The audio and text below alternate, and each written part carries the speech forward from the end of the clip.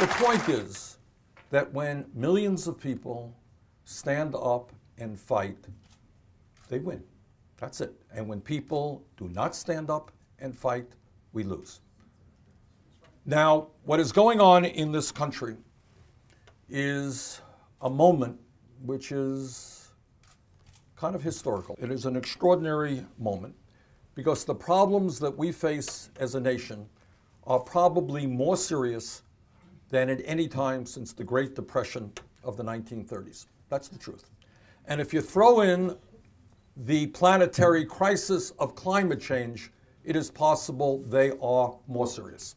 The first major point that I want to make is that the problems we faced did not come down from the heavens. They are made, they are made by bad human decisions. And good human decisions can change them.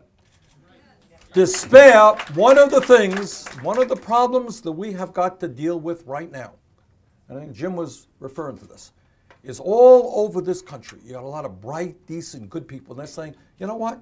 Situation is hopeless. You can't beat the Koch brothers. You can't beat the billionaires. You can't win. I'm giving up. That is exactly what they want us to believe.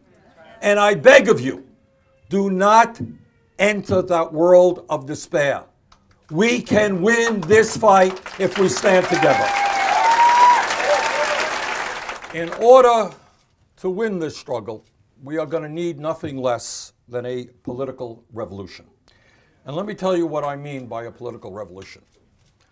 When, as was the case in this last election in November, when 63% of the American people chose not to vote, when 80% of young people, when 75% of low income workers chose not to vote, what we need to do is create a momentum so that 70, 80, 90% of the people vote. And when that happens, we win hands down.